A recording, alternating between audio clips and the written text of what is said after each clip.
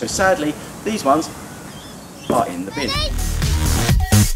Everybody and welcome to a cold wintry Adelaide morning.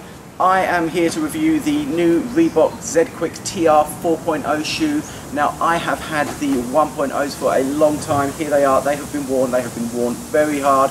But I love this shoe. It comes with the really cool nano web technology, bright yellow laces, they have a super low 4 mil heel to toe drop. These are an awesome flat foot running shoe and I love them, but I have loved them to death. They have got outside heel erosion issues and this is causing me knee problems, this is supination issues and it is a nightmare. It's hurting me when I run, it's hurting me when I walk and I have got to change my shoes. So sadly, these ones are in the bin.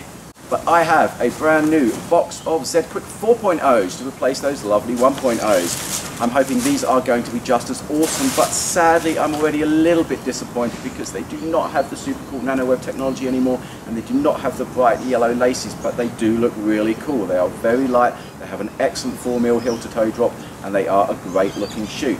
I'm going to take them for a run for a couple of weeks and see what I think.